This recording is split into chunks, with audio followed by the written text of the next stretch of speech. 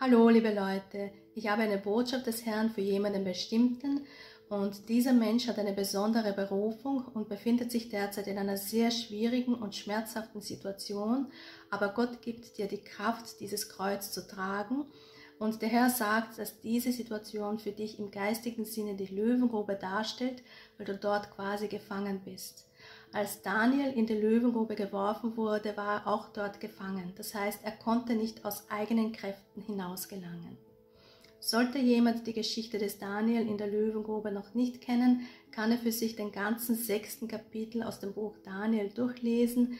Ich werde jetzt für das heutige Wort die wichtigsten Teile vorlesen. Das sind die Bibelverse 17 und 20 bis 24.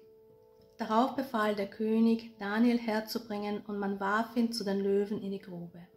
Der König sagte noch zu Daniel, Möge dein Gott, dem du so unablässig dienst, dich erretten. Früh am Morgen, als es gerade hell wurde, stand der König auf und ging in Eile zur Löwengrube. Als er sich der Grube näherte, rief er mit schmerzlicher Stimme nach Daniel und fragte, Daniel, du Diener des lebendigen Gottes, hat dein Gott, den du so unablässig dienst, dich vor den Löwen erretten können? Daniel antwortete ihm, O König, mögest du ewig leben. Mein Gott hat seinen Engel gesandt und den Rachen der Löwen verschlossen. Sie taten mir nichts zuleide, denn in seinen Augen war ich schuldlos, und auch dir gegenüber, König, bin ich ohne Schuld. Gott erlaubte diese Situation, weil dadurch dein Glaube gestärkt wird und außerdem wird sein Name verherrlicht. Denn die Menschen werden sein Eingreifen in diese Situation erkennen müssen und wenn du aus der Löwengrube herauskommst, wirst du genauso wie Daniel keinen Schaden erlitten haben, weil du auf Gott vertraut hast.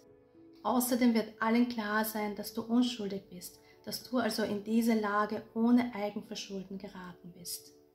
Dies ist die Botschaft Gottes für dich und ich glaube, dass du sehr bald von allen Anschuldigungen und diesbezüglichen Herausforderungen befreit sein wirst. Bis dahin bleibe stark und vertraue weiterhin auf Gottes Schutz. Ich bete für dich. Gott segne euch alle.